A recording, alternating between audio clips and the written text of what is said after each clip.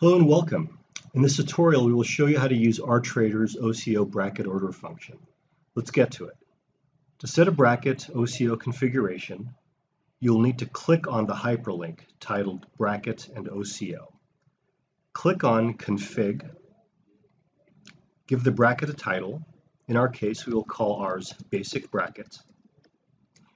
Under Bracket Type, select Both. Next, Select your target ticks and your stop.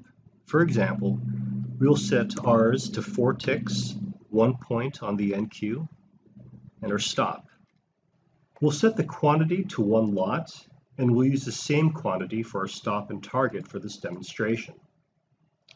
After that, we'll click Save. Go back to the section under Brackets and OCO, click on the drop-down and select your saved bracket. On the left, click off the disabled status. This will now turn to green and indicate that our OCO bracket has been enabled. We will now put on a market order to test the bracket. Our preset stop and limit order should be present once we enter a trade. And once an order has been filled, it should automatically cancel the other order. And as you can see, the bracket is now in position. We will go ahead and exit the position now so that everything, both the position and the limit order, will offset and cancel out. Feel free to contact us at Halifax America for demo requests or for any other inquiries.